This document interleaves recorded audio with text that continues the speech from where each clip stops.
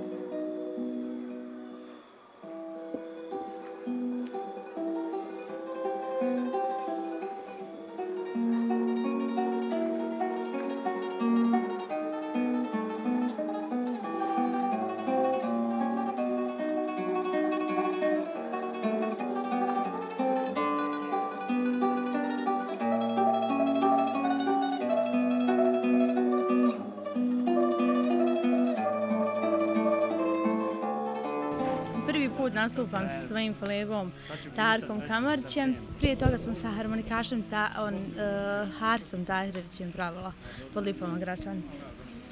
Eto, meni je drago što je ovako na otvorenom, pred medresom, koncert.